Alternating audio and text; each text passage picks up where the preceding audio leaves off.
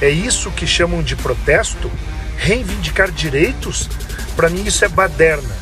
É um crime grave contra o patrimônio privado. Não podemos tolerar mais práticas criminosas promovidas por vândalos financiados pela esquerda no Brasil. Basta. Comente aqui o que você achou dessa palhaçada. Chega de impunidade para esses vagabundos.